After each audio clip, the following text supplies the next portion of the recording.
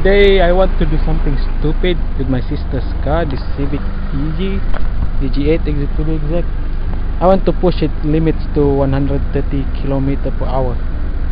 You know, some, you know, we gotta do something stupid once in a while, you know, because this car has not run more than 90 miles per hour to be exact. That's why I'm going to push it in engine a little bit hard today.